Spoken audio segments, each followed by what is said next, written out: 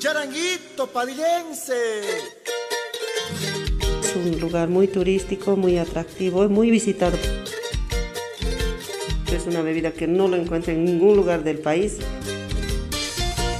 Y un punto obligado de visita en Padilla, sin duda, es la Casa del Mate. En este lugar se produce el tradicional whisky padillense. Hasta acá han llegado expresidentes y diferentes autoridades para consumir esta bebida característica de esta región.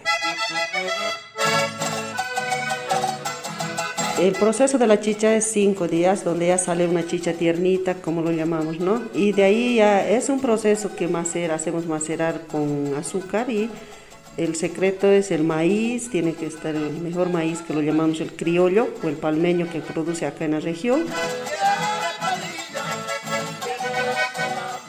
En gran parte del país se produce la chicha, pero es en esta localidad donde se macera esta bebida hasta 10 años, lo que hace que cambie su color y el sabor. El whisky de maíz padillense es por el efecto que tiene, ¿no? Es bastante efectivo, aparte de clarito, que está bien, una bebida ya finita, ¿no? Es se vuelve muy finito entonces, pero es efectivo, como decimos, traicionero.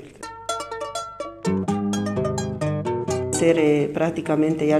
Eh, conocidos ¿no? a nivel nacional e internacional también, esperándoles ¿no? para que degusten de una chichita eh, padillense, el néctar del maíz como le decimos el whisky.